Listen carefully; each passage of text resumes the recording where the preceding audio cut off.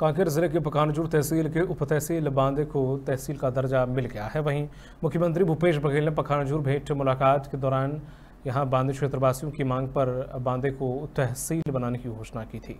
मुख्यमंत्री भूपेश बघेल ने virtually video conferencing के माध्यम से बांदे को तहसील का दर्जा मिलने के बाद मोहर लगा दी है। बता दें कि बांदे तहसील में कुल चौदह पटवारी, हल्का में कुल पचानवे गाँव को शामिल किया है।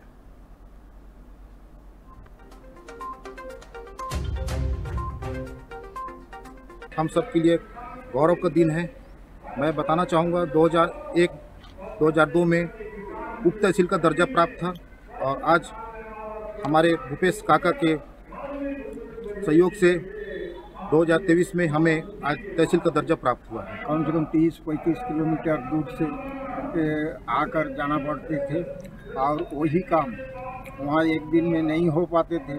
अब ये नज़दीक हो गया है। हम लोग खुशी की बात है जो यहाँ तहसील बन जाने का बाद ही हमारा कार्य सुचारू रूप से होगा। हमारे राज्य के मुख्यमंत्री श्री भूपेश बघेल द्वारा वर्चुअल तहसीलों का उद्घाटन किया गया है, जिसके अंतर्गत नवीन तहसील कार्यालय